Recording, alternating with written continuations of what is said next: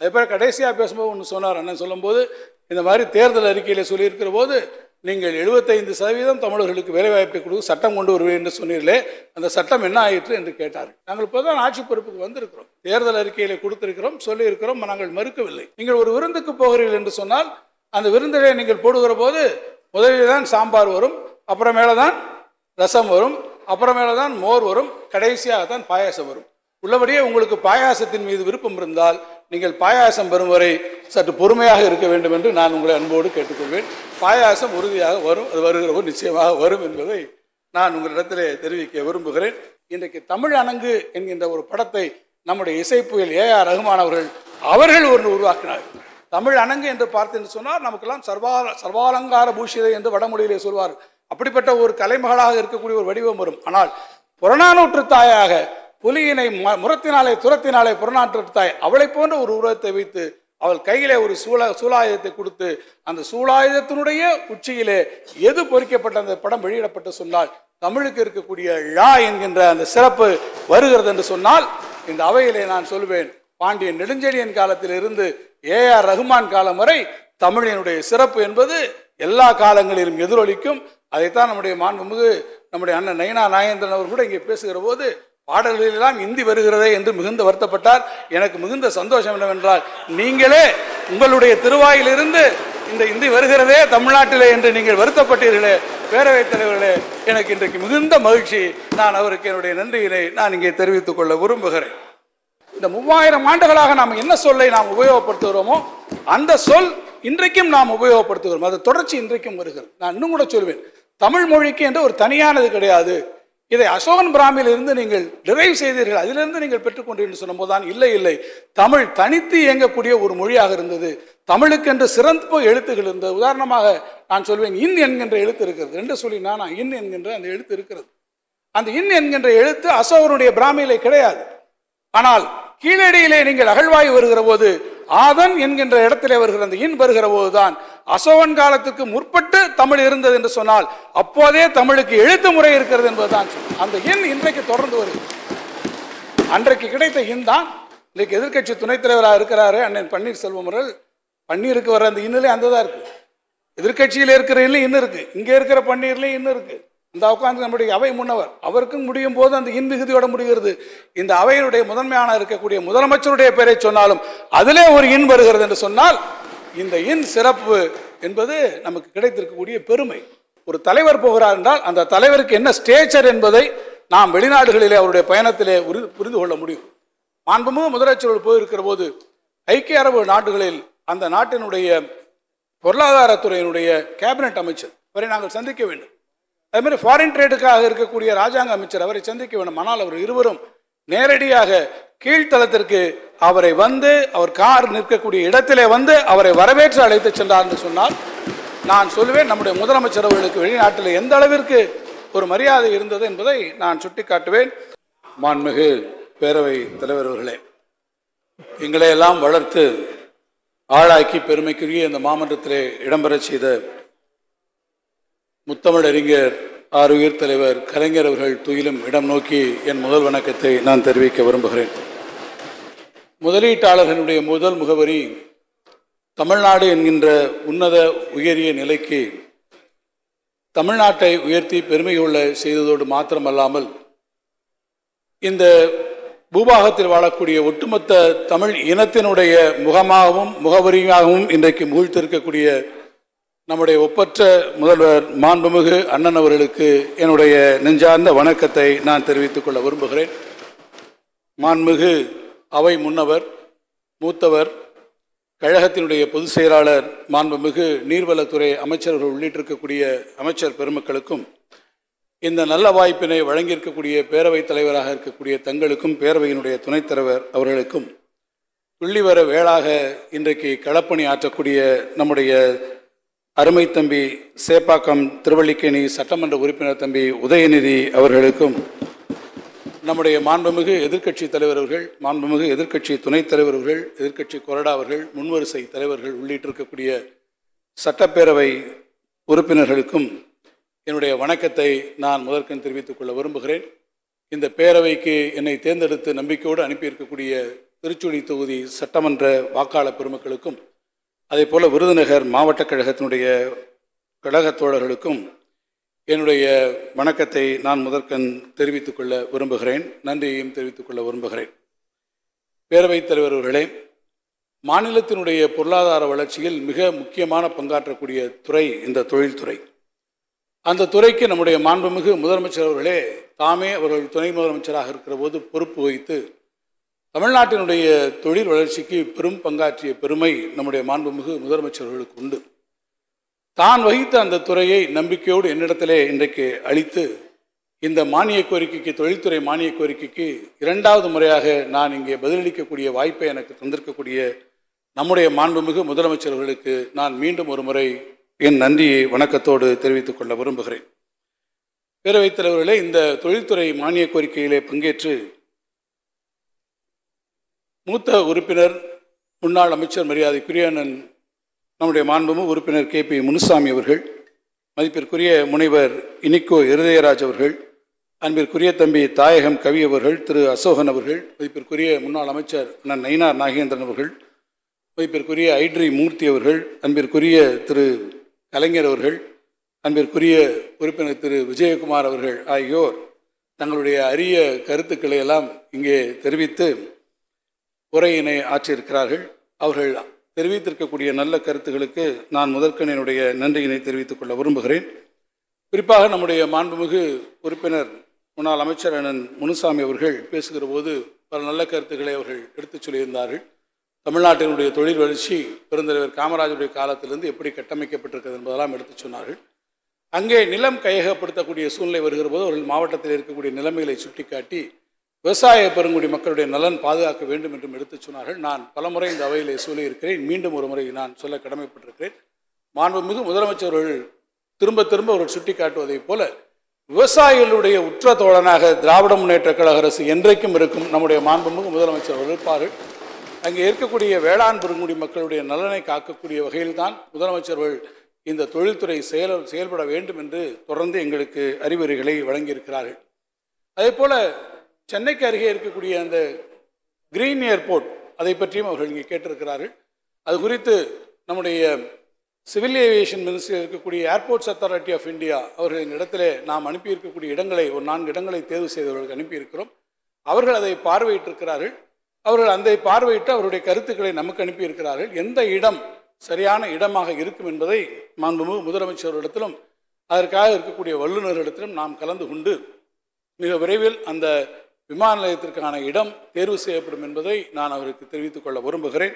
அதே போல லூலுவை குறித்து கூட அவர் சொன்னார்கள் லூலு என்பது ஒரு ரீட்டைல் ஷாப்பாக மட்டும் அது வரவில்லை. அப்படியே வந்தாலும் கூட மிக பெரும்பான்மையானவர்களுக்கு வேலைவாய்ப்பை கொடுக்கக்கூடிய வகையில் தான் அந்த நிறுவனத்தோடு நாம் இன்றைக்கு ஒப்பந்தத்தை செய்திருக்கிறோம். இன்னொன்று இன்னொரு வகையிலே அவர்கள் ஃபுட் ப்ராசஸிங்கிலே உணவு பதப்படுத்தக்கூடிய தொழிலே மிகப்பெரிய இடத்திலே இருக்கிறார்கள். எனவே தமிழ்நாட்டிலே அவருடைய முதலீடு என்பது வெறுமனே அவருடைய ரீட்டைல் என்கின்ற அளவிலே மாத்திரம் இல்லாமல் நம்முடைய உணவு பதப்படுத்தக்கூடிய தொழிலும் அவர்களின் இடத்திலே முதலிடத்திலே அவர்கள் தன்னுடைய விருப்பத்தை தெரிவித்திருக்கிறார் என்பதை நான் நம்முடைய மாண்பு உறுப்பினருடைய கவனத்திற்கு நான் சொல்ல கடமைப்பட்டிருக்கிறேன். அதே கடைசியாக பேசும்போது ஒன்று சொன்னார் அண்ணன் சொல்லும்போது இந்த மாதிரி தேர்தல் அறிக்கையில் சொல்லியிருக்கிற போது நீங்கள் எழுபத்தைந்து சதவீதம் தமிழர்களுக்கு வேலைவாய்ப்பை கொடுத்து சட்டம் கொண்டு வருவேன் என்று சொன்னீர்களே அந்த சட்டம் என்ன ஆயிற்று என்று கேட்டார் நாங்கள் இப்போ தான் ஆட்சி பொறுப்புக்கு வந்திருக்கிறோம். தேர்தல் அறிக்கையில் கொடுத்திருக்கிறோம் சொல்லியிருக்கிறோம் நாங்கள் மறுக்கவில்லை. நீங்கள் ஒரு விருந்துக்கு போகிறீர்கள் என்று சொன்னால் அந்த விருந்திலே நீங்கள் போடுகிற போது முதலில் தான் சாம்பார் வரும் அப்புறமேல தான் ரசம் வரும் அப்புறமேல தான் மோர் வரும் கடைசியாக தான் பாயாசம் வரும். உள்ளபடியே உங்களுக்கு பாயாசத்தின் மீது விருப்பம் இருந்தால் நீங்கள் பாயாசம் வரும் வரை சற்று பொறுமையாக இருக்க வேண்டும் என்று நான் உங்களை அன்போடு கேட்டுக்கொள்வேன். பாயாசம் உறுதியாக வரும் அது வருகிற போது நிச்சயமாக வரும் என்பதை நான் உங்களிடத்திலே தெரிவிக்க விரும்புகிறேன். அதே போல பல கருத்துக்களை என்ன என்ன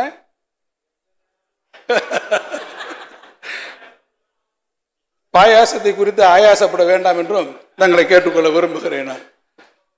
இனிக்கோ இருதயராஜ் அவர்கள் அதை போல இங்கே தொழில் அனுமதிகளை பெறுவதற்கான ஒரு வெளிநாட்டு தொழில் முதலீடு வருவதையெல்லாம் முறைப்படுத்துவதற்காக குழு அமைக்க வேண்டும் என்று கேட்டிருக்கிறார். இன்டர்நேஷனல் எக்ஸ்போ ஒன்று நடத்த வேண்டும் என்று சொல்லியிருக்கிறார். செக்டார் வைஸ் பாலிசி வர வேண்டும் என்று கேட்டிருக்கிறார். அது ஏற்கனவே நாம் நடைமுறைகளை செய்து கொண்டிருக்கிறோம். தம்பி தாயகம் கவி அவர்கள் நல்ல கருத்துக்களை சொல்லியிருக்கிறார். மதிப்பிற்குரிய உறுப்பினர் அசோகன் அவர்கள் டிஜிடி ஆஃபீஸ் மதுரையிலிருந்து இன்றைக்கு வேறு இடத்திற்கு போயிருப்பது குறித்து தன்னுடைய கவலையினை அவர்கள் தெரிவித்திருக்கிறார்கள். ஆக பல்வேறு கருத்துக்களை அவர்கள் சொல்லிப்பேன் அழைத்துக்கிறேன் மதிப்பிற்குரிய அண்ணன் நைனா நயினா நாகேந்திரன் அவர்கள் பேசுகிற போது காரக்குறிச்சி அருணாச்சலம் அவர்கள் இசை மேதை அவருக்கு ஒரு முழு உருவ வெங்கலச் சிலை அமைக்க வேண்டும் என்று நீங்கள் கேட்டுக்கொண்டிருக்கீர்கள். அவருக்கு இது நூற்றாண்டு விழாவாக இருக்கிறது. உங்கள் கருத்தினை நான் மாண்புமிகு முதலமைச்சரிடத்தில் எடுத்துச் சொல்வேன். அதே போல் மங்களதேவி கோயில் என்று அழைக்கப்படக்கூடிய கண்ணகி கோட்டம். அதற்கான விஷயத்தையும் நீங்கள் எடுத்து சொல்லியிருக்கிறீர்கள். ஓமந்தூராருக்கு அஹ், எப்படி நாங்கள் அங்கே ஒரு வளாகத்தை இன்றைக்கு அமைத்திருக்கிறோமோ அதை போல் இந்த மாமன்றத்திலே கூட அவருடைய படம் இங்கே இடம்பெற்றிருக்கக்கூடிய பெருமை அவருக்கு உண்டு. சுதந்திர இந்தியாவினுடைய முதல் முதலமைச்சராக இருந்தக்கூடிய பெருமை. ஆக தமிழ்நாடு அரசை பொறுத்தவரை நம்முடைய மாண்பு முதலமைச்சர் அவர்கள் எல்லாருக்கும் மிக சிறந்த சிறப்புகளை செய்வார்கள். நிச்சயமாக நான் முதலமைச்சருடைய கவனத்துக்கு அதை எடுத்துச் சொல்வேன் என்று அவருக்கும் தெரிவித்துக் கொள்கிறேன். நம்முடைய மதிப்பிற்குரிய ஐட்ரி மூர்த்தி அவர்கள் சிங்கிள் விண்டோ சிஸ்டத்தை பற்றியும் மிக அருமையான கருத்துக்களை அவர்கள் எடுத்துச் சொல்லியிருக்கிறார்கள். அதேபோல் நம்ம ஜேகா அவர்கள் வந்து பிளாக் செயின் பற்றி ஒரு நல்ல கருத்துக்களை எடுத்துச் சொல்லியிருக்கிறார்கள். திரு விஜயகுமார் அவர்களும் இறுதியாக சொல்லியிருக்கிறார்கள். அவர் அனைவருக்கும் நான் என்னுடைய நன்றியினை நான் தெரிவித்துக் கொள்ள விரும்புகிறேன். பேரவைத் தலைவர்களே நம்முடைய தமிழ்நாடு வந்து நம்முடைய இந்திய திருநாட்டினுடைய இரண்டாவது பெரிய பொருளாதாரமாக இருக்குது. செகண்ட் லார்ஜஸ்ட் எக்கானமி என்று சொன்னால் அது தமிழ்நாடாக இருக்கிறது. ஆனால் நாங்கள் கடந்த ஆண்டு ஆட்சி பொறுப்புக்கு வருகிற போது சொன்னால் கோவிட் பத்தொன்பது தொற்றினுடைய பிடியிலே நம்முடைய நாடு அன்றைக்கு சிக்கியிருந்தது. அப்படி சிக்கியிருக்கக்கூடிய காலகட்டத்தில் இந்த துறைக்கு முன்னாலே இரண்டு பெரிய சவால்கள் இருந்தது. ஒன்று இந்த தொற்றினாலே இருக்கக்கூடிய மக்களுக்கு நாம் ஆக்சிஜன் தேவை. அந்த ஆக்சிஜன் தேவை என்பது எந்த விதத்திலும் ஒரு பற்றாக்குறை வந்து விடக்கூடாது ஆக பற்றாக்குறை இல்லாமல் எல்லா இடத்திற்கும் ஆக்சிஜன் கிடைக்க செய்ய வேண்டும். அதே நேரத்தில் அது எல்லா இடத்திலும் லாஸ்ட் மைல் கனெக்டிவிட்டி என்று சொல்வதைப் போல எல்லா மருத்துவமனைகளிலும் அது போய் கிடைக்க வேண்டும்.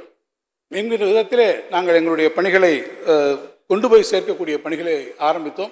முதலமைச்சர் அவர்களுடைய வழிகாட்டுதலோடு ஏறத்தாழ இன்றைக்கு முப்பதனாயிரம் மெட்ரிக் டன் ஆக்சிஜன் நாம் பல இடங்களிலிருந்தும் இறக்குமதி மூலமாகவும் சரி மற்ற இடங்களிலும் இருந்தும் கொண்டு வந்து தமிழ்நாட்டிலே எல்லா மருத்துவமனைகளுக்கும் கொண்டு சென்றோம். தமிழ்நாட்டில் இருக்கக்கூடிய எந்த மருத்துவமனையிலும் ஒரு உயிரிழப்பு கூட ஆக்சிஜன் பற்றாக்குறையால் வந்துவிடக்கூடாது என்று முதலமைச்சருடைய அந்த நிலைக்கு முழு உறுதுணையாக இன்றைக்கு தொழில்துறை அவரோடு கரம் கோர்த்து இருந்தது என்பதை நான் இங்கே நினைவு கூற விரும்புகிறேன். அதற்கு பிறகு இரண்டாம் கட்டமாக முடங்கி போயிருந்தக்கூடிய பொருளாதாரத்தை மீட்டெடுக்க வேண்டிய அந்த முக்கியமான ஒரு சவால் எங்கள் முன்னாலே இருந்தது. அந்த நேரத்தில் தான் முதலமைச்சர் அவர்கள் தொழில்துறைக்கு ஒரு மிக மகத்தான ஒரு ஆதரவினை அளித்தார்கள். தமிழ்நாட்டிலே கோவிட் தொற்று காலமாக இருந்தாலும் கூட தொழில்கள் முடங்கி போய்விடக்கூடாது. தொழிற்சாலைகள் இயங்க வேண்டும். ஏற்றுமதி தொடர்ந்து நடைபெற வேண்டும். குறிப்பாக உள்நாட்டிலே இருக்கக்கூடிய போக்குவரத்து தடைபட்டு விடக்கூடாது என்பதற்காக மாண்புமிகு முதலமைச்சர் அவர்கள் மிக வேகமாக நடவடிக்கைகள் எடுத்தார். அவர் எடுத்த அந்த நடவடிக்கைகளின் காரணமாகத்தான் அந்த தேக்க நிலையை மாறத் துவங்கி புதிய முதலீடுகள் தமிழ்நாட்டுக்கு வர இருந்தது வந்தது. அப்படி வந்ததற்கு முதல் காரணமும் முழு காரணமும் நம்முடைய மாண்புமிகு முதலமைச்சர்கள் என்பதை நான் இந்த மன்றத்திலே பதிவு செய்ய விரும்புகிறேன். அந்த முதலீடுகள் வந்ததற்கு காரணமும் நம்முடைய முதலமைச்சருடைய செயல்பாடு பார்த்து அவர் மீது வைத்திருந்த முழு நம்பிக்கையின் காரணமாகத்தான் தமிழ்நாட்டிலே அன்றைக்கு முதலீடுகள் வர துவங்கியது. அந்த கோவிட் தொற்று காலமாக இருந்தாலும் கூட முதல் முதலீட்டாளர்கள் மாநாட்டை ஜூலை மாதம் இருபதாம் தேதி நாங்கள் நடத்துகிற போது ஏறத்தாழ பதினேழாயிரம் கோடி ரூபாய்க்கு மேலே அந்த மூன்று மாத காலத்திற்குள்ளாக முதலீட்டை தமிழ்நாடு ஈர்த்திருக்கிறது என்று சொன்னால் அது மாண்புமிகு முதலமைச்சர்கள் மீது முதலீட்டாளர் கொண்டிருக்கக்கூடிய நம்பிக்கை என்பதை நான் இங்கே உங்களிடத்தில் தெரிவிக்க விரும்புகிறேன். அந்த முதலீட்டாளர்கள் மாநாட்டில் தான் மாண்புமிகு முதலமைச்சர் அவர்கள் மூன்று முக்கியமான இலக்குகளை இந்த தொழில்துறைக்கு அளித்தார்கள். இரண்டாயிரத்தி முப்பதாம் ஆண்டுக்குள் ஒரு ட்ரில்லியன் டாலர் எக்கானமி நாம் பெற வேண்டும் என்று. இதைத்தான் அண்ணன் அவர்கள் கூட சொன்னார்கள். நீங்கள் அறிவித்திருக்கிறீர்கள். உங்களிடத்தில் என்ன ரோட் மேப் இருக்கு என்று கேட்டார்கள். நாங்கள் வெறும் பாய் வார்த்தையாக சொல்லவில்லை. நீங்கள் அந்த ரெண்டாயிரத்தி முப்பதாம் ஆண்டுக்குள்ளாக ஏறத்தாழ இருபத்தி மூணு லட்சம் கோடிகளுக்கான முதலீட்டை நாங்கள் ஈர்ப்போம். அதன் வாயிலாக நாற்பத்தாறு லட்சம் பேர்களுக்கு வேலை வாய்ப்பை உருவாக்குவோம். இதில் மிக முக்கியமான அங்கம் வகிக்கக்கூடிய ஏற்றுமதி அந்த தொழிலுக்கு முக்கியத்துவம் கொடுக்கக்கூடியிலே ஏற்றுமதியிலே ஏற்றம் என்கின்ற வகையிலே ஒரு மாநாட்டையும் நாங்கள் நடத்தினோம் ஏற்றுமதிக்காக முதல் முறையாக தமிழ்நாட்டிலே ஒரு தனி கொள்கையை உருவாக்கிய அரசு நம்முடைய மாண்புமிகு முதலமைச்சருடைய அரசு. எனவே ஒரு மிக சிறப்பான ஒரு திட்டமிடலுடன் கட்டமைப்புடன் இந்த இலக்கை நோக்கி எங்களுடைய பயணத்தை நாங்கள் தொடர்ந்து இருக்கிறோம் என்பதையும் நான் இங்கே தெரிவித்துக் கொள்ள விரும்புகிறேன். அதன் வாயிலாக நீங்கள் நாம் வைத்திருக்கக்கூடிய இலக்கு இப்போ எக்ஸ்போர்ட் ஹண்ட்ரட் பில்லியன் டாலர்ஸ் என்று நாங்கள் வைத்திருக்கோம் என்று சொன்னால் அந்த ஹண்ட்ரட் பில்லியன் டாலர்ஸை நாம் அச்சீவ் செய்கிற போதுதான் ஒட்டுமொத்தமாக ஒன் ட்ரில்லியன் டாலர் எக்கானமிக்கு நாம் போக முடியும் என்பதையும் மனதிலே கொண்டுதான் இந்த முழுமையான கட்டமைப்புகள் உருவாக்கப்பட்டிருக்கிறது என்பதை நான் இங்கே தெரிவிப்பேன். அதே போல தென்கிழக்கு ஆசியாவிலேயே முதலீடுகளுக்கு உகந்த ஒரு மாநிலமாக நம்முடைய தமிழ்நாட்டை உருவாக்க வேண்டும் என்கின்ற அந்த இலக்கையும் அவர்கள் எங்களுக்கு அறிவித்திருக்கிறார்கள். இந்த மாநாட்டை தொடர்ந்து பல இடங்களிலே சென்னையிலே கோவையிலே தூத்துக்குடியிலே என்று பல இடங்களிலே நாங்கள் தொழில் முதலீட்டாளர்கள் மாநாட்டை நடத்தி அதனுடைய ஒரு பகுதியாக அதனுடைய இறுதி பகுதியாக இந்த ஆண்டிலே பார்த்தீங்கன்னு சொன்னால் ஐக்கிய அரபு நாடுகளுக்கு நம்முடைய மாண்பு முதலமைச்சர் அவர்கள் ஒரு பயணத்தை மேற்கொண்டார்கள் அரசு முறை பயணமாக. அந்த பயணம் மிக வெற்றிகரமான ஒரு பயணமாக அமைந்தது. முதலமைச்சர் அவர்களுக்கு இந்த பயணம் தொழில் தொழில் முதலீட்டாளர்களுக்கான பயணம் என்கிற வகையில் இவர் சென்றாலும் கூட குறிப்பாக துபாயிலே அவர்கள் போயிருக்கிற போது துபாய் அரசாங்கம் நம்முடைய மாண்புமும் முதலமைச்சர்களுக்கு கொடுத்திருக்கக்கூடிய அந்த சிறப்பான மரியாதை என்பதை நான் இந்த அவையிலே குறிப்பிட்டு சொல்ல வேண்டும். காரணம் யார் போயிருந்தாலும் கூடி என்ன ஸ்டேச்சரில் நீங்கள் போகிறீர்கள்? ஒரு தலைவர் போகிறார் என்றால் அந்த தலைவருக்கு என்ன ஸ்டேச்சர் என்பதை நாம் வெளிநாடுகளிலே அவருடைய பயணத்திலே புரிந்து கொள்ள முடியும்.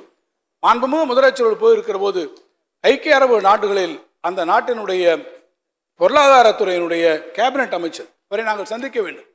அது மாதிரி ஃபாரின் ட்ரேடுக்காக இருக்கக்கூடிய ராஜாங்க அமைச்சர் அவரை சந்திக்க வேண்டும் ஆனால் அவர் இருவரும் நேரடியாக கீழ்த்தளத்திற்கு அவரை வந்து அவர் கார் நிற்கக்கூடிய இடத்திலே வந்து அவரை வரவேற்று அழைத்து சென்றார் என்று சொன்னால் நான் சொல்லுவேன் நம்முடைய முதலமைச்சர் அவர்களுக்கு வெளிநாட்டில் எந்த அளவிற்கு ஒரு மரியாதை இருந்தது என்பதை நான் சுட்டிக்காட்டுவேன்.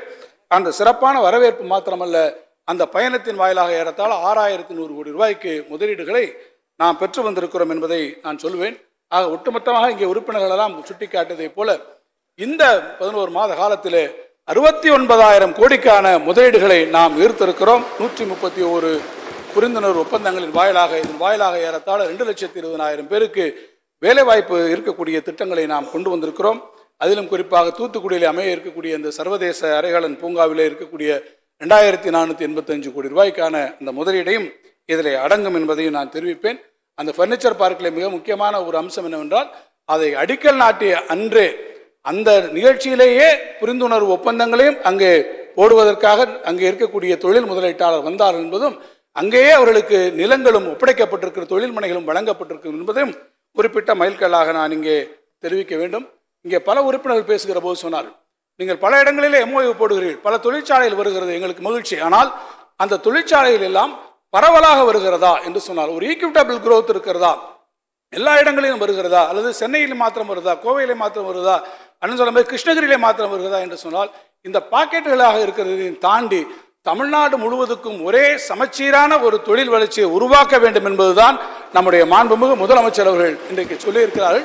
அவர்கள் சொன்ன அந்த அறிவுரை ஏற்றுதான் இன்றைக்கு அமையக்கூடிய இந்த தொழில் முதலீடுகள் எல்லாம் நீங்கள் பார்ப்பீர்கள் என்று சொன்னால் திருநெல்வேலி மாவட்டத்திலிருந்து துவங்கி திருநெல்வேலியிலிருந்து திருத்தணியாக இருந்தாலும் அல்லது கோவையிலே துவங்கி நாகப்பட்டினமாக இருந்தாலும் இந்த எல்லைகளுக்குட்பட்டிருக்கக்கூடிய தமிழ் நிலப்பரப்பினுடைய எல்லா மாவட்டங்களிலும் இந்த தொழில் முதலீடுகள் வரக்கூடிய அளவிலே இது சமச்சீரான வகையிலே இந்த தொழில் முதலீடுகள் இன்றைக்கு ஈர்க்கப்பட்டிருக்கிறது என்பதை நான் இங்கே தெரிவிப்பேன். இன்னொன்று இப்படி நீங்கள் தொழில் முதலீடு வருகிறது எம்ஓயு போடுகிறோம். ஆனால் அந்த எம்ஓயு என்பதெல்லாம் நீங்கள் எந்த அளவிற்கு கன்வெர்ட் ஆகிறது என்பதை நாம் பார்க்க வேண்டும். நான் நம்முடைய மாண்புமிகு உறுப்பினர்கள் சொன்னதற்கு நான் வருகிறேன். இந்த எம்ஓயுக்கள் நாம் போடுகிறோம். போடுகிற போது நீங்கள் இவ்வளவு கோடி ரூபாய்க்கு நாங்கள் முதலீடுகளை நாங்கள் ஈர்த்திருக்கிறோம் என்று சொல்லுகிறோம். ஆனால் அந்த முதலீடுகளாக இருக்கும்போது கிரவுண்டாக இருக்கிறதா என்று நாம் பார்க்க வேண்டும். இந்த முதலீடுகள் வருகிற போது இந்த முதலீடுகள் தொழிற்சாலைகளாக வந்திருக்கிறதா இது வேலை வாய்ப்புகளாக உருவாகி இருக்கிறதா என்று நாம் பார்க்க வேண்டியதன் அவசியம்.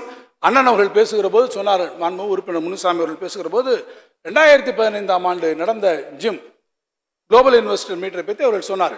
அவருடைய ஆட்சி காலத்தில் நடந்தது. நான் கடந்த சட்டமன்ற பேரவை கூட்டத்தொடரிலேயே நான் அதை பற்றி முழுமையான விவரங்களை எல்லாம் சொல்லி அது அவைக்குறிப்பில் இருக்கிறது. எனவே நான் நீண்ட நேரம் நேரத்தின் அருமைகளை விவரங்களுக்குள்ளே நான் செல்ல விரும்பவில்லை. ரெண்டாயிரத்தி பதினைந்திலே மொத்த திட்டங்களை ஒப்பந்தம் போட்ட திட்டங்கள் தொண்ணூத்தெட்டு. இந்த தொண்ணூத்தெட்டு திட்டங்களிலே அப்போது நீங்கள் போடுகிற போது உறுதி செய்யப்பட்ட முதலீடு என்னவென்றால் ரெண்டு லட்சத்தி நாற்பத்தி ரெண்டாயிரத்தி நூற்றி அறுபது கோடி ரூபாய் நீங்கள் சொல்கிறீர்கள் ஆனால் உறுதி செய்யப்பட்ட வேலை வாய்ப்புனா நாலு லட்சத்தி எழுபதினாயிரம் வரும்னு சொல்கிறோம் ஆனால் இப்போ இந்த ரெண்டாயிரத்தி இருபத்தி ரெண்டு நம்ம தொடுகிற போது இன்றைக்கு இருக்கக்கூடிய சூழ்நிலையில் எவ்வளவு வணிக உற்பத்தி இதில் திட்டங்கள் துவங்கியிருக்குன்னா அறுபத்தி நாலு திட்டங்கள் வந்திருக்கிறது. இந்த அறுபத்தி நாலு திட்டங்களிலே நீங்கள் உறுதி செய்யப்பட்டிருக்கக்கூடிய முதலீடு பார்ப்பேன் என்று சொன்னால் ஒரு லட்சத்தி முப்பத்தி மூவாயிரத்தி நானூற்றி பதினெட்டு கோடி வந்திருக்கு. இதான் உறுதி செய்ய ஆனால் ஆக்சுவலாக இன்னைக்கு வரை என்ன முதலீடு? அந்த இடத்துல வந்திருக்கு. கிரவுண்டை வணிக உற்பத்தி துவக்கியிருக்காங்களா? நேரடியாக பணம் போட்டிருக்காங்களா? அது ஆரம்பிச்சிருக்காங்களான்னு நீங்கள் அப்படி பார்த்தீங்கன்னா அறுபத்தையாயிரத்தி நானூற்றி எண்பத்தி ஆறு கோடி ரூபாய் தான் வந்திருக்கு. ஒட்டுமொத்தத்தில் வெறும் இருபத்தேழு சதவீதம் தான் ஆக்சுவலாக ரியலைஸ் ஆயிருக்கு. இதைத்தான் நாங்கள் சொல்லுகிறோம். நாம் திட்டங்கள் நாம் போடுகிறோம். ஆனால் அது வர வேண்டும் என்பதுதான் மிக முக்கியமானது என்பதையும் நான் இந்த நேரத்திலே தெரிவித்துக் கொள்ள விரும்புகிறேன். அது மாத்திரமல்ல நான் இன்னும் கூட சொல்ல வேண்டும் என்று சொன்னால் இதில் பதினோரு திட்டங்கள் மட்டும் ஒட்டுமொத்தமாக இன்றைக்கு கைவிடப்படக்கூடிய திட்டங்களாக இருக்குது அதுக்கு வேறு காரணங்களாக இருக்குது அதற்கு மின்சார வாரியத்திலே அன்றைக்கு செய்யப்பட்டிருக்கக்கூடிய அந்த கொள்கை முடிவுகளின் காரணமாக அது கைவிடப்பட்டிருக்கிறது. அதே போல் ரெண்டாயிரத்தி பத்தொம்போதிலும் பார்த்தீங்கன்னா மொத்த திட்டங்கள் முந்நூற்றி நாலு. அன்றைக்கு நாம் வரோம் என்று எம்ஓயு போடக்கூடியவை வந்து பார்த்தீங்கன்னா அந்த காலத்தில் நீங்கள் இருக்கும்போது போட்டும்போது மூணு லட்சத்தி ஐநூற்றி ஒரு கோடி ரூபாய். உறுதி செய்யப்படக்கூடிய வேலை வாய்ப்பு என்று அன்றைக்கு கருதப்பட்டது பத்து லட்சத்தி ஐம்பதனாயிரம். ஆனால் இன்றைக்கு என்ன நிலவரம் என்று பார்ப்பேன் என்று சொன்னால் இந்த நூற்றி ஐம்பத்தோரு திட்டங்கள் வந்து தான் இப்போ அதில் முந்நூற்றி ஒன்றில் நூற்றி ஐம்பத்தொன்று வந்திருக்குன்னு சொல்கிறோம் இதுலேயும் பார்த்தீங்கன்னா ரெண்டு ரெண்டு லட்சத்தி பதினாறாயிரம் கோடிக்கு நீங்கள் இந்த முதலீடுக்கு சொல்லியிருக்காங்க. ஆனால் ஆக்சுவலாக இன்றைக்கு வந்து பார்த்தீங்கன்னா எவ்வளோ வந்திருக்குன்னா எண்பதாயிரத்தி அறநூற்றி பன்னெண்டு இருபத்தெட்டு இருபத்தாறு பர்சன்டேஜ் ஆக உங்களுடைய அந்த சக்ஸஸ் ரேட் என்பது நீங்கள் பார்ப்பீர்கள் என்று சொன்னால் போன வட்டம் இருபத்தி ஏழாக இருந்தது இப்போது இருபத்தாறு பெர்சன்டேஜாக இருக்கிறது. எனவே நான் உங்களிடத்தில் தெரிவிக்க விரும்புவது இந்த கணக்கை நீங்கள் எடுத்துக்கொண்டு நீங்கள் பார்ப்பேன் என்று சொன்னால் நம்முடைய மாண்புமிகு முதலமைச்சர் அதனால தான் என்ன சொல்லியிருக்காங்கன்னா இப்போது கூட நீங்கள் வரக்கூடிய இந்த முதலீடுகளை இந்த முதலீடுகளை நாம் இருக்கிறோம் என்று சொன்னால் இது அந்த முதலீடுகள் நேரடியாக வருகிறதா கிரவுண்டுக்கு வருகிறதா தொழிற்சாலை ஆரம்பிக்கிறதா என்பதை தொழில்துறை கண்காணிப்பது என்பது மாத்திரமல்லாமல் மாண்புமிகு முதலமைச்சர் அவரே தன்னுடைய டேஷ்போர்டில் ஒவ்வொரு திட்டங்களையும் நான் கண்காணிப்பேன் என்பதையும் இப்போ கூட நாங்கள் போய் எங்களுடைய திட்டங்களுக்கான அறிவிப்புக்காக மாண்புமிகு முதலமைச்சரத்தை போகும்போது கூட இதுவரை நம்ம போயிட்டு வந்த திட்டங்களிலே ஐக்கிய அரபு நாடுகளுக்கு போயிருந்தோமே எந்த திட்டங்கள் எல்லாம் இப்போது வந்திருக்கிறது என்பதை அவர்களே அவர்கள் ஆய்வு செய்கிறார் என்று சொன்னால் முதலமைச்சர் அவர்கள் எந்த அளவிற்கு நம்முடைய தொழில்துறை நடவடிக்கையில் ஆர்வமாக இருக்கிறார் என்பதை நீங்கள் அறிந்து கொள்ள முடியும். அவர் எடுத்திருக்கக்கூடிய இந்த நடவடிக்கையின் காரணமாகத்தான் நம்முடைய தொழில் பொருளாதாரம் இன்றைக்கு வளர்ந்திருக்கிறது. ரெண்டாயிரத்தி இருபத்தி ஒன்று இருபத்தி ரெண்டாம் நிதியாண்டில் தமிழ்நாட்டினுடைய பொருளாதாரம் என்பது பதினொன்று பத்தொன்பது புள்ளி சுழி இரண்டு லட்சம் கோடியிலிருந்து இருபத்தொன்று புள்ளி ஏழு ஒன்பது லட்சம் கோடியாக உயர்ந்திருக்கிறது. இதன் வாயிலாக தமிழ் நம்முடைய இந்திய திருநாட்டில் இருக்கக்கூடிய மாநிலங்கள் இடையே நாம் இரண்டாவது இடத்தில் இருக்கிறோம் என்பதை நான் பெருமையோடு சொல்லுவேன். அதே போல நம்முடைய உள்நாட்டு உற்பத்தி மதிப்பு அகில இந்திய அளவிலே மூணு சதவீத வளர்ச்சி என்ற நிலையில் நாம் ஐந்து புள்ளி ஐந்து சதவீதமாக வளர்ச்சியை பெற்றிருக்கிறோம். எனவே தொடர்ச்சியாக இத்தகைய நடவடிக்கைகள் முதலீட்டாளரிடத்திலே பெரும் நம்பிக்கையை வளர்த்திருக்கிறது. நம்முடைய மாண்பு முதலமைச்சர் சொன்னதைப் போல ஃபாரின் டைரக்ட் இன்வெஸ்ட்மெண்ட்டில் இன்றைக்கு நாற்பத்தோரு சதவீதம் நாம் இன்றைக்கு அதிகரித்து பெற்றிருக்கிறோம் என்று சொன்னால் நம்முடைய தொழில் துறையினுடைய நடவடிக்கைகள் முதலமைச்சருடைய வழிகாட்டுதல் என்பதை சொல்லி அதைத்தான் நம்முடைய மாண்பு முதலமைச்சரோடு இன்றைக்கு காலையிலே பெருமையாக இங்கே எடுத்து சொல்லியிருக்கிறார்கள். அதற்கு நல்ல ஒரு முகமையாக இருந்து இதை வழிகாட்டக்கூடிய நம்முடைய தொழில்துறையின் வழிகாட்டி நிறுவனத்திற்கு the best investment promotion agency என்பது ஏசியா ஓஷியானா ரீஜன் என்கின்ற வகையில் ஐக்கிய அரபு நாடுகளின் பொருளாதாரத்துறை நடத்தியிருக்கக்கூடிய ரெண்டாயிரத்தி இருபத்தி ரெண்டு வரலாந்திர விடுதீடுகள் மாநாட்டிலே அந்த பெருமை வாய்ந்த விருதும் நம்முடைய கைடன்ஸ் டிபார்ட்மெண்ட்டுக்கு வழங்கப்பட்டிருக்கிறது என்பதை நான் இங்கே பெருமையோடு எடுத்துச் சொல்ல விரும்புகிறேன். பேரவைத் தலைவர்களே மிக முக்கியமாக தொழில்துறையில் இன்றைக்கு இருக்கக்கூடியது திறன் மேம்பாடு. பல அற்புதமான தொழில்நுட்ப நிறுவனங்கள் நம்மிடத்திலே இருக்கிறது. இந்த தொழில்நுட்ப நிறுவனங்கள் பல்கலைக்கழகங்கள் பொறியியல் கல்லூரிகள் மற்ற கல்லூரிகளிலிருந்து பொறியியல் பட்டதாரிகள் மற்ற பட்டதாரிகள் பட்டய படிப்பாளர்கள் பல பேர் இன்றைக்கு வருகிறார்கள். ஆக இவர் வருகிற போது இவர்கள் குறிப்பிட்ட திறன் இருக்கிறதா என்று கேட்டால் அது இல்லை என்ற காரணத்தினால்தான் எம்ப்ளாயபிலிட்டி என்பதிலே பிரச்சனை வருகிறது. வேலை வாய்ப்புகள் இருக்கிறது ஆனால் அவர்கள் எம்ப்ளாயபிளாக இருக்கிறார் என்பது பிரச்சனை வருகிற போதுதான் இன்றைக்கு மாண்புமிகு உயர்கல்வித்துறை அமைச்சர் நீங்கள் சொன்னதைப் போல உயர்கல்வித்துறையோடு நம்முடைய தொழில்துறை இணைந்து தொழிலாளர் நலத்துறை இணைந்து இன்றைக்கு இவர்களுக்கெல்லாம் திறன் மேம்பாட்டை வழங்கக்கூடிய இந்த பணிகளை நாங்களும் ஈடுபட்டிருக்கிறோம். அதில் மிக ஒரு முக்கியமான திட்டம் என்பது நம்முடைய முதலமைச்சருடைய கனவு திட்டமாக இருக்கக்கூடிய நான் முதல்வன் திட்டம் என்கின்ற அந்த திட்டத்திலும் எங்களுடைய பங்களிப்பை நாங்கள் இன்றைக்கு தவிர்த்து இருக்கிறோம். அதே போல தொழிலகங்களுக்கு இத்தகைய திறன் மிகுந்த தொழிலாளர்களை நாம் உருவாக்கி அளிப்பதில் மிக முக்கியமான பங்கு வளர்ந்து வரக்கூடிய தொழில் சூழலில் இண்டஸ்ட்ரீஸ் ஃபோர் பாயிண்ட் ஓவுக்கு இன்றைக்கு இருக்கிறது. இந்த தொழிற்புரட்சி நம்முடைய மாநிலத்துக்கு கிடைத்திருக்கக்கூடிய ஒரு நல்ல வாய்ப்பாகும். பல முக்கியமான தொழில்நுட்பங்கள் டேட்டா அனாலிட்டிக்ஸ் போன்ற இருக்கக்கூடிய தொழில்நுட்பங்களை நாம் பயன்படுத்தி நமக்கு இருக்கக்கூடிய தரவுகளின் வாயிலாக நம்முடைய பணியாளர்களுடைய திறன்களை மேம்படுத்தக்கூடிய வகையில் அதே போல் உலகளாவிலே இருக்கக்கூடிய அந்த வேல்யூ செயினிலே வரக்கூடிய அந்த பொருள்களுக்கெல்லாம் மதிப்பு கூட்டலை நாம் செய்யக்கூடிய சிறப்பான பணிகளை நாம் செய்தால் நம்முடைய உற்பத்தி திறனும் வேலை வாய்ப்புகளையும் அதிகரிக்கும் என்கிற வகையில் அதற்கு ஒரு மிக முக்கியத்துவம் கொடுத்திருக்கிறோம். அதற்கான ஒரு விரிவான கையேட்டினை நம்முடைய மாநில திட்டக்குழு இன்றைக்கு உருவாக்கி இருக்கிறது மாநில திட்டக்குழுவினுடைய தலைவர் மதிப்பிற்குரிய திரு ஜெயரஞ்சன் அவர்கள் அதனுடைய உறுப்பினர்கள் மதிப்பிற்குரிய திருமதி மல்லிகா சீனிவாசன் அவர்கள் நம்முடைய மாண்புமிகு உறுப்பினர் அவையில் இடம்பெற்றிருக்கக்கூடிய மதிப்பிற்குரிய தம்பி டிஆர்பி ராஜா அவர்கள் அதே போல ப்ரொஃபசர் விஜயபாஸ்கர் ஆகியோர் அவருடைய பங்களிப்போடு இப்போது அந்த விரிவான கையேடு இன்றைக்கு தயாராகி கொண்டிருக்கிறது என்பதையும் நாளை மறுநாள் அது வெளியிடப்பட இருக்கிறது என்பதையும் நான் தெரிவித்துக் கொள்ள விரும்புகிறேன். புதிதாக உருவாக்கப்பட்டிருக்கக்கூடிய கொள்கைகள் தான் ஒவ்வொரு செக்டார் வைஸாக நாம் இன்றைக்கு போக முடியும். ஒரு காலத்திலே நமக்கு மேனுஃபேக்சரிங் பெரிய உற்பத்தி துறை பெரிதாக இருந்தது சர்வீஸ் பெரிதாக இருந்தது. இன்றைக்கு புதிய துறைகள் நமக்கு வந்து கொண்டிருக்கிறது எமர்ஜிங் செக்டார்ஸ் நமக்கு வந்து கொண்டிருக்கிறது. ஆக அதற்கான கொள்கைகள் பின்டெக் பாலிசி நிதிநுட்ப கொள்கைகள் அல்லது ஏற்றுமதிக்கான மேம்பாட்டு கொள்கைகளை ரெண்டாயிரத்தி இருபத்தி ஒன்றாம் ஆண்டு புதிதாக உருவாக்கியிருக்கிறோம். டேட்டா சென்டர் பாலிசி வந்திருக்கிறது. அதே போல நமக்கு இருக்கக்கூடிய பயோடெக்னாலஜி உயிரியல் அறிவியல் அதே போல ஆராய்ச்சி மேம்பாட்டு கொள்கை திருத்தப்பட்ட மின்வாகன கொள்கை தோல் மற்றும் காலனி கொள்கைகள் போன்ற புதிய காலனிகள் கொள்கைகள் உருவாக்கப்பட இருக்கிறது. அதே போல் மிக முக்கியமாக இங்கே சிப்காட் அதுதான் நமக்கு தொழில் மனைகளை தொழில் பூங்காக்களை உருவாக்கக்கூடிய ஒரு நிறுவனமாக இருக்கிறது. அகில இந்திய அளவில் ஒன்றிய அரசினுடைய தொழில் மற்றும் உள்நாட்டு வர்த்தகத்துறை டிபிஐஐடி வெளியிட்ட தரவரசு அமைப்பு two point O industrial park rack ranking system IPRS two point O அறிக்கையின்படி தொழில் நிலங்கள் கையெழுப்பு அடிப்படையில் அகில இந்திய அளவிலே தமிழ்நாடு தான் இன்றைக்கு முதலிடத்தை பெற்றிருக்கிறது. இடத்துல இவ்வளவு நிலங்கள் கையிருப்பு இருக்கக்கூடிய காரணத்தினால்தான் பல தொழில்கள் தொழில் முனைவுகள் நம்மை நோடி வருகிறார்கள். அதனால்தான் தான் நம்முடைய இந்த அரசு நாற்பத்தையாயிரம் ஏக்கர் நாம் தொழில் நிலங்களை நம்முடைய கையிருப்பில் வைத்திருக்க வேண்டும் என்கின்ற அந்த ஒரு திட்டமிடலும் நம்மிடத்தில் இருக்கிறது. சிப்பாட் மூலமாக நான் திருப்பி சொல்ல விரும்புகிறேன். நிலங்களை கையகப்படுத்தும் போது கூடுமான வரை விவசாயிகளுக்கான எந்த பாதிப்பும் வரக்கூடாது என்பதிலே நம்முடைய மாண்பு முதலமைச்சர்கள் அறிவுரை தெளித்திருக்கிறார்கள். அதேபோல் அவர்களுக்கு நிறைய அளவில் காம்பன்சேஷன் கொடுக்கின்ற போதும் நிறைய அளவில் அவர்கள் ஒத்துக்கொண்டு வருகிற போது பல இடங்களிலே அந்த காம்பன்சேஷனும் மனநிறைவு அளிக்கக்கூடிய வகையில் இருக்க வேண்டும் என்று தெரிவித்திருக்கிறார்கள். டிட்கோ ஒரு முக்கியமான நிறுவனம். நியூ டைடல் பூங்காக்கள் வானூர்தி தொழில் பூங்காக்களை இன்றைக்கு அது உருவாக்கி வந்திருக்கிறது. திறன் மேம்பாட்டு மையங்கள் சென்டர் ஃபார் எக்ஸலன்சிஸ் எல்லாம் இன்றைக்கு டிட்கோவினுடைய சார்பிலே உருவாக்கப்பட்டிருக்கிறது. குறிப்பாக நந்தம்பாக்கத்திலே பத்து லட்சம் சதுர அடியிலே ஒரு ஃபின்டெக் டவர் வந்திருக்கிறது. ஆக டிக்கில் பார்த்தீங்கன்னா இந்த கோவிட் சமயத்தில் கோ கோரஸ் ப்ளஸ் என்கின்ற வகையிலே கொரோனா கால நிவாரணங்களை மிக சிறப்பான வகையில் டிக் வழங்கி இருக்கிறது என்பதையும் அதே போல் சிறப்பான பணிகளை டான்சம் டிஎன்பிஎல் போன்ற நிறுவனங்கள் இன்றைக்கு செய்து வந்திருக்கிறது என்பதையும் நான் உங்களிடத்திலே தெரிவிக்க விரும்புகிறேன். டான்சம் மூலமாக வந்திருக்கக்கூடிய வலிமை சிமெண்ட் இன்றைக்கு தமிழ்நாட்டிலே மிகப்பெரிய வரவேற்பினை பெற்றிருக்கக்கூடிய அந்த ஒரு சிமெண்ட்டாக இன்றைக்கு வந்திருக்கிறது என்பதையும் நான் இந்த நேரத்திலே உங்களிடத்திலே தெரிவித்துக் கொண்டு தமிழ் வளர்ச்சித்துறைக்கு நான் வருகிறேன். பேரவைத் தலைவர்களே இருந்தமிழே உன்னால் இருந்தேன். இமையோர் விருந்து அமிழ்தம் பெரினும் வேண்டேன் என்கின்ற தமிழ் விடுது தூதிலே ஒரு வரி வரும். அந்த வரி கேட்கிற போது நமக்கு எப்படியெல்லாம் ஒரு உணர்வை தூண்டுகிறதோ அதே தான் தமிழ் தாத்தா உவேசா அவர்களுக்கும் அதை தூண்டியதாக சொல்வார். அத்தகைய மொழி நம்முடைய சிறப்பு வாய்ந்த மொழி நம்முடைய மொழி. மூவாயிரம் ஆண்டுகள் பழமையான மொழி நம்முடைய மொழி. அந்த மொழி திங்களோடும் செழும்பருதி தன்னோடும் விண்ணோடும் உடுக்களோடும் மங்குள் கடல் இவற்றோடும் பிறந்த தமிழ் என்று நாம் இன்றைக்கு பெருமையோடு சொல்லுகிறோம். அத்தகைய பழமை வாய்ந்த அந்த மொழி.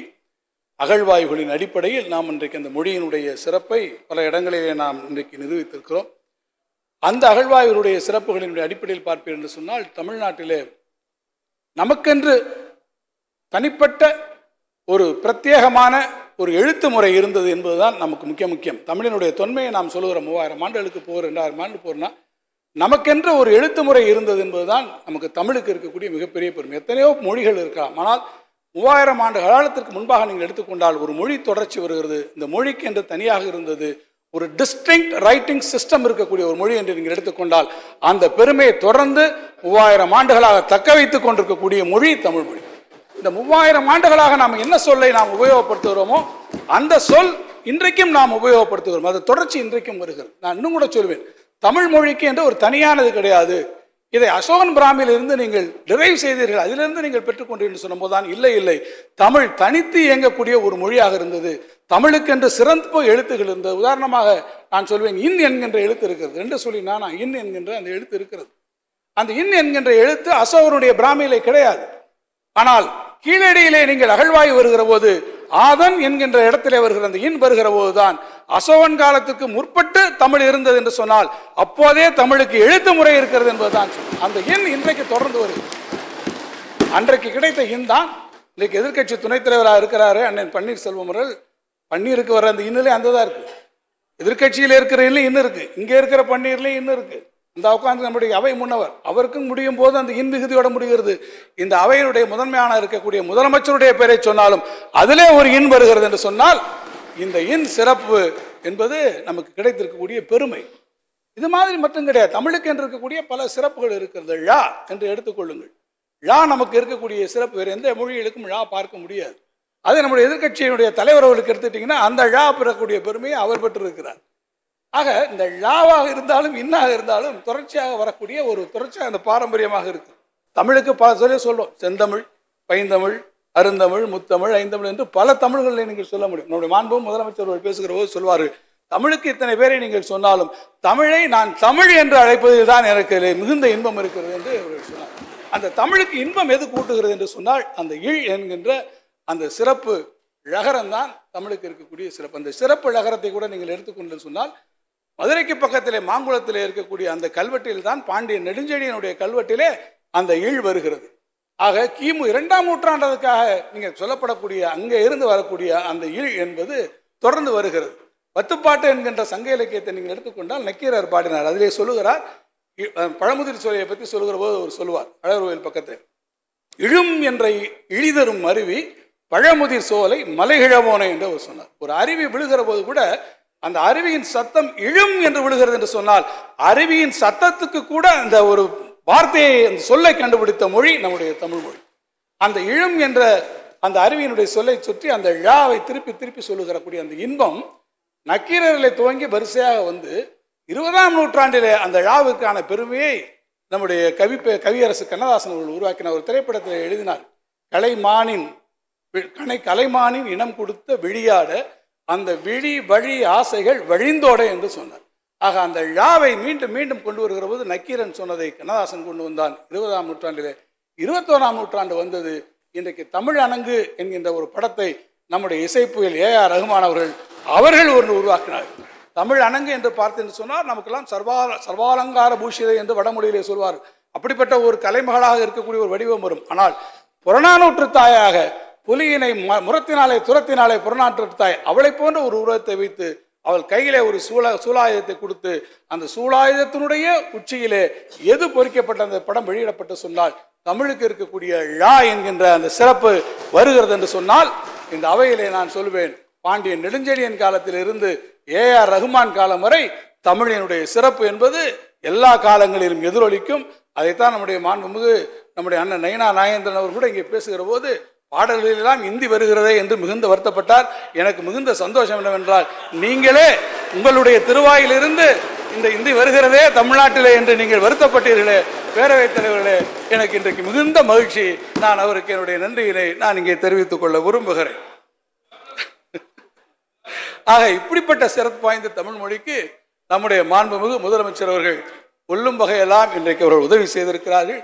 தகைசால் தமிழர் விருது தலைவர் கலைஞர் அவர்கள் பேராக எழுதுகோள் விருது இலக்கிய மாமணி விருது கப்பலோட்டிய தமிழர் விருது தமிழரின் வழங்கப்பட்ட விருது தொகை ஒரு லட்சத்திலிருந்து ரெண்டு லட்சமாக வழங்கி உயர்த்தியது கலைஞர் செம்மொழி விருதுகள் பாரதியார் படைப்புகள் குறித்த ஆய்வாளர் ஐம்பதுக்கு மூன்று லட்சம் கொலோன் பல்கலைக்கழகத்தில் ஒரு ஒன்று புள்ளி இருபத்தி ரெண்டு ரெண்டு அஞ்சு கோடி ரூபாய் தமிழ்துறைக்கு வழங்கியது.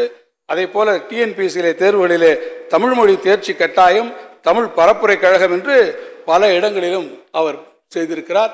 எல்லா இடத்திலும் சொல்லி இப்போ நாங்கள் கூட இந்த துபாய் பயணத்திற்கு அவரை செல்கிற போது பார்த்தோம். தொழில் முதலீட்டுக்காரருக்காக அவர் போனாலும் கூட அவருடைய எண்ணம் எங்கே இருந்தது என்று சொன்னால் அங்கே இருக்கக்கூடிய தமிழ் மக்களை நாம் சந்திப்பதில் தான் நம்முடைய மாண்பும் முதலமைச்சர் அவர்கள் பெரும் ஆசையை கூட்டார்கள் ஒன்பதாம் நூற்றாண்டிலே திருநாவுக்கரசர் ஒரு பதியத்திலே பாடுவார். சலம் பூவமோடு தூவம் மருந்தறியேன் தமிழோடு இசை பாடல் மருந்தறியேன் நலம் தீங்கிலும் உன்னை மறைந்தறியேன் உண்ணாமம் எண்ணாவில் மறந்தறியேன் என்று அப்பர்வர்மான் பாடினார். அதே போல இங்கிருந்து துபாய்க்கு போயிருந்தார். கடல் கடந்து போயிருக்கிறார். அரபிக்கடலிலே போயிருக்கிறார். அங்கே போனாலும் தமிழ்ச் சமுதாயத்தை அங்கே பார்த்து என்னாலும் உங்களை நான் மறந்தறியேன். உங்களோடு தான் நான் இருப்பேன் என்று சொல்லி அந்த இடத்திற்கும் போய் அவர்களோடு இருந்து அளவலாவி மிகுந்தார் அப்படி வரக்கூடிய அந்த நேரத்தில் தான் நம்முடைய கவி அவர்கள் இங்கே பேசுகிற போது சொன்னார் அந்த பாடலை அவர்கள் எடுத்து சொல்லுகிற போது தமிழ் தாய் வாழ்த்து பாடலிலே கேட்கவில்லை என்று சொன்னபோது முதலமைச்சர்கள் தாமே எழுந்து கணீர் என்ற குரலிலே தமிழ் தாய் வாழ்த்துக்கு அவர் பாடிய போது ஒட்டுமொத்த அரங்கமும் அன்றைக்கு அதை பாடியது. அந்த காற்றிலே அரபிக்கடலினுடைய காற்று முழுதும் அன்னை தமிழ் அன்றைக்கு நிறைந்திருந்தது என்பதை நான் இந்த நேரத்திலே மகிழ்ச்சியோடு சொல்வேன் அதே போலதான் குறிச்சி கலிபாவிலே நம்முடைய பே- நம்முடைய ஒப்பற்ற தலைவர் கலைஞர் அவர்கள் எழுதிய செம்மொழி பாடல் அது அன்றைக்கு திரையிடப்பட்ட போது அங்கே குழுமி இருக்கக்கூடிய லட்சக்கணக்கான மக்கள் நம்முடைய செம்மொழி தமிழினுடைய சிறப்பினை அறிந்து கொள்ளக்கூடிய அந்த நிலையில் எங்களுக்கு உள்ளமெல்லாம் பூரித்தது. எனவே அத்தகைய ஒரு சிறப்பு வாய்ந்த முதலமைச்சருடைய வழிகாட்டுதலில் முதன் முறையாக இந்த தமிழ் வளர்ச்சித்துறை என்பது இன்றைக்கு நூறு கோடி ரூபாய் அளவிற்கு நிதி ஒதுக்கீட்டினை முதன் முறையாக அது எதிர்நோக்கி வந்திருக்கிறது என்பதை நான் இந்த நேரத்திலே உங்களிடத்திலே தெரிவித்துக் கொண்டு பேரவைத் தலைவர்களுடைய நேரத்தின் அருமை கருதி மிக விரைவாக நான் அறிவிப்புகளுக்கு வருகிறேன். அறிவிப்புகள் உங்களுக்கு அச்சடிக்கப்பட்டு வழங்கியிருக்கும். எனவே அந்த அறிவிப்புகளை நான் படித்ததாக நீங்கள் கருதி சில அறிவிப்புகளை மாத்திரம் நான் இங்கே சுட்டிக்காட்ட விரும்புகிறேன். தொழில்துறையினை தொழில் முதலீட்டு ஊக்குவிப்பு மற்றும் வர்த்தகத்துறை என பெயர் மாற்றம் செய்யப்படும். முதலீட்டு ஊக்குவிப்பு மற்றும் சேவைகளுக்கான ஆணையரகம் உருவாக்கப்படும். விரிவான சாலை உள்கட்டமைப்பு மேம்பாட்டு திட்டத்தின் கீழ் சாலைகள் மேம்படுத்தப்படும். ஹைட்ரஜன் உற்பத்தி துறையில் பெரிய அளவில் முதலீடு இருக்கும் வகையில் ஹைட்ரஜன் எரிசக்தி கொள்கை வெளியிடப்படும். தமிழகத்திற்கு முதலீடுகளை ஏற்க எத்தனால் கொள்கை இரண்டாயிரத்தி வெளியிடப்படும். தமிழ்நாடு தொழில் கொள்கை இரண்டாயிரத்தி இருபத்தொன்னின் கீழ் வழங்கப்படும் நிலையான ஊக்கச்சலுகையுடன் கூடுதலாக தொழில்நுட்ப ஜவுளிகள் மற்றும் ஆடைகள் உற்பத்தியை ஊக்குவிக்கும் சிறப்பு திட்டம் ஒன்று வழங்கப்படும் என்பதையும் தெரிவித்துக் கொள்கிறேன். கிருஷ்ணகிரி மாவட்டத்தில் புதிய சிப்காட் தொழில் பூங்கா உண்டு ஆயிரத்தி ஐநூறு கோடி ரூபாய் திட்ட மதிப்பீட்டில் மூவாயிரம் ஏக்கர் பரப்பில் உருவாக்கப்படும். குறிப்பாக நம்முடைய டெல்டா மாவட்டங்களிலே வந்து தொழில் ஆரம்பிப்பதில் இருக்கக்கூடிய பல்வேறு சிரமங்களை கருத்தில் கொண்டு மாண்பு முதலமைச்சர்கள் ஒருங்கிணைந்திருக்கக்கூடிய தஞ்சை மாவட்டத்திலே தஞ்சை மாவட்டம் அதே போல உதகமண்டலத்திலே மினி டைடல் பார்க் இந்த முறை அமைக்கப்படும் என்பதை நான் இங்கே தெரிவித்துக் கொள்ள விரும்புகிறேன். காஞ்சிபுரம் மாவட்டத்தில் பல்துறை தொழில் பூங்கா அமைக்கப்படும். பிரத்யேக பாதுகாப்பு பூங்காக்கள் உருவாக்கப்படும். கோயம்புத்தூரிலே பல்முனைய சரக்கு போக்குவரத்து பூங்கா அமைக்கப்படும். தமிழ்நாடு முதலீட்டுக் கழகம் குறு சிறு மற்றும் நடுத்தர தொழில்கள் வழங்கும் கடன்களுக்கு மூன்று சதவீதம் முதல் அட்டு ஆறு சதவீதம் வட்டி மானியத்தை மேலும் ஒரு ஆண்டுக்கு நீட்டித்து வழங்கப்படும். ஆலங்குளம் சிமெண்ட் ஆலை வளாகத்தில் மணிக்கு எட்டு எண்பது மெட்ரிக் டன் அரவை திறன் கொண்ட ஒரு புதிய சிமெண்ட் அரவை மில் கட்டமைப்பு வசதியுடன் நாற்பது கோடி ரூபாய் திட்ட மதிப்பீட்டில் அமைக்கப்படும் முடியும் என்பதை நான் தெரிவித்துக் கொள்கிறேன். தமிழ் வளர்ச்சி அறிவிப்புகள் மாணவர்களின் தமிழ் ஆர்வத்தை அதிகரிக்க அரசு கலை மற்றும் அறிவியல் கல்லூரி பொறியியல் கல்லூரி மற்றும் மருத்துவக் கல்லூரி ஆகியவற்றில் மாணவர் தமிழ் மன்றங்கள் அமைத்து மாணவரிடத்திலே தமிழ் சார்ந்த போட்டிகள் நடத்துவதற்கு ஐந்து புள்ளி மூணு ஆறு கோடி ரூபாய் வழங்கப்படும். தமிழ்நாடு முழுவதும் உள்ள ஆறாயிரத்தி இருநூத்தி பதினெட்டு அரசு உயர்நிலைப்பட்டு மற்றும் மேல்நிலைப் உள்ள தமிழ் மன்னர்களை மேம்படுத்தி அவற்றை நடத்துவதற்கு தமிழ் முக்கோடல் முக்கூடல் நிகழ்ச்சியை நடத்திட ஐந்து புள்ளி ஆறு கோடி ரூபாய் வழங்கப்படும். அதே போல தமிழ் பல்கலைக்கழகத்தினுடைய கட்டமைப்பு மேம்பாட்டு பணிகளுக்காக இரண்டு கோடி வழங்கப்படும். திருக்குறளுக்கு ஐக்கிய நாட்டு கல்வி அறிவியல் பண்பாட்டு அமைப்பு யுனெஸ்கோ அங்கீகாரம் பெறும் வகையில் பாரிஸில் உள்ள யுனெஸ்கோ அரங்கத்தில் திருக்குறள் மாநாடு நடத்திட்ட ஒரு கோடி ரூபாய் நிதி உதவி வழங்கப்படும். தமிழை சிறப்பாக உச்சரிக்கும் ஊ- செய்தி ஊடகங்களுக்கு மாநில அளவில் சிறந்த தமிழ் உச்சரிப்பு விருது வழங்கப்படும். இதற்கான ரூபாய் ஐந்து லட்சம் வழங்கப்படும் என்பதை நான் இங்கே மகிழ்ச்சியோடு தெரிவிக்க விரும்புகிறேன். பேரவைத் தலைவர் அவர்களே இந்த மானிய கோரிக்கை பதிலளிப்பதற்கு எல்லா வகையிலும் என்னோடு இங்கே இருந்து எனக்கு உதவி செய்திருக்கக்கூடிய நம்முடைய மதிப்பிற்குரிய தலைமைச் செயலாளர் திரு இறையன்பு ஐஏஎஸ் அவர்கள் தொழில்துறையினுடைய கூடுதல் தலைமை செயலாளர் திரு கிருஷ்ணன் ஐஏஎஸ் அவர்கள் டெக் சிஎம்டி திரு ஹன்ஸ்ராஜ் வர்மா ஐஏஎஸ் அவர்கள் மதிப்பு முதலமைச்சருடைய செயலாளர் பெருமக்கள் டிட்கோ தலைவர் திரு பங்கஜ்குமார் பன்சால் ஐஏஎஸ் அவர்கள் சிப்காட் மேலாண்மை இயக்குனர் திரு ஆனந்த் ஐஏஎஸ் கைடன்ஸ் மேலாண்மை இயக்குனர் திருமதி பூஜா கல்குனி ஐஏஎஸ் டான்சம் எம்டி திரு காமராஜ் ஐஏஎஸ் சால் கார்ப்பரேஷன் எம்டி திரு ராஜாமணி அவர்கள் உள்ளிட்டும் அதே போல தமிழ் வளர்ச்சித்துறையினுடைய சார்பில் இருக்கக்கூடிய நம்முடைய செயலாளர் திரு மகேசன் காசிராஜன் அவர்கள் ஐஏஎஸ் அவர்கள் அதேபோல் தமிழ் வளர்ச்சி இயக்குனர் திரு சரவணன் ஐஏஎஸ் ஆகிய அதிக உயர் அதிகாரிகளுக்கு நான் இந்த நேரத்தில் என்னுடைய நன்றியை தெரிவித்துக் கொள்கிறேன். வெட்டு தீர்மானங்களை பொறுத்தமட்டில் தொழில்துறையில் எண்பத்தி ஏழு வெட்டு தீர்மானங்கள் வந்திருக்கிறது. அதே போல் தமிழ் வளர்ச்சித் துறையில் ஏறத்தாழ அறுபத்தெட்டு வெட்டு தீர்மானங்கள் வந்திருக்கிறது. இந்த வெட்டு தீர்மானங்களை எல்லாம் நான் படித்திருக்கிறேன். குறிப்பாக நம்முடைய உதகமண்டலம் சட்டமன்ற உறுப்பினர் அவர்கள் உருளைக்கிழங்கு சிப்ஸ் அங்கே ஒரு தயாரிப்பதற்கு ஒரு தொழிற்சாலை கேட்டிருக்கிறார்கள். நாங்கள் கேட்டோம். நாங்கள் கேட்டதிலே உருளைக்கிழங்கு அங்கே விளையக்கூடிய உருளைக்கிழங்கு எல்லாம் தமிழ்நாட்டினுடைய மற்ற பகுதியில் இருக்கிறவர்கள் மொத்தமாக சாம்பார் வைப்பதற்காக வாங்கி கொண்டு போய் விடுகிறார்கள். அங்கே அவர்கள் சாம்பாராகவும் சப்ஜியாகவும் அது மாறிவிடுகிறது. எனவே கொஞ்சம் தான் அங்கே உருளைக்கிழங்கு சிப்ஸ் தயாரிப்பதற்காக இருக்கிறது என்று வந்திருக்கிறது. எனவே அவருக்கும் அந்த தகவலை சொல்லி ஆக வெட்டு தீர்மானங்களை பொறுத்தமட்டில் நீங்கள் கொடுத்திருக்கக்கூடிய எல்லா வெட்டு தீர்மானங்களையும் நான் படித்திருக்கிறேன். அந்த வெட்டு தீர்மானங்களில் பல இடங்களிலே உங்கள் உணர்வுகளையும் நான் புரிந்து கொண்டிருக்கிறேன். நிச்சயமாக அவற்றை வரக்கூடிய காலங்களிலே நாங்கள் மனதிலே வைத்து அவற்றை நாங்கள் நிறைவேற்றி தருவோம் என்பதையும் நான் தெரிவித்துக் கொண்டு பேரவைத் தலைவர் அவர்களே நம்முடைய மாண்புமிகு முதலமைச்சர்கள் ஒவ்வொரு ஒவ்வொரு கட்டத்திலும் எங்களை வழிநடத்தி வந்திருக்கிறார்கள். எங்கள் மாவட்டம் விருதுநகர் மாவட்டம். இந்த மாவட்டத்தில் தான் ஆண்டாள் பிறந்தாள். பன்னிரு ஆழ்வார்களிலே ஒருவராகவும் பிராட்டிமார்களிலே கூட ஒருவராகவும் இருக்கக்கூடிய ஆண்டாள் தன்னுடைய திருப்பாவையை பாடுகிற போது சொன்னால் எற்றைக்கும் ஏழேழு பிறவிக்கும் உற்றோமே ஆமே. உனக்கே நாம் ஆட்செய்வோம் மற்ற நங்காமங்கள் மாற்றேலோர் எம்பாவா என்று சொன்னால் முதலமைச்சர் அவர்களே அவருடைய அவையில் இல்லாவிட்டால் நான் அவருக்கு சொல்லுவேன் எற்றைக்கும் ஏழேழு பிறவிக்கும் உங்களுக்கு உற்றமையாவும் உமக்கே நாம் ஆட்செய்வோம் என்று சொல்லி என் உரையை நான் நிறைவு செய்கிறேன். நன்றி.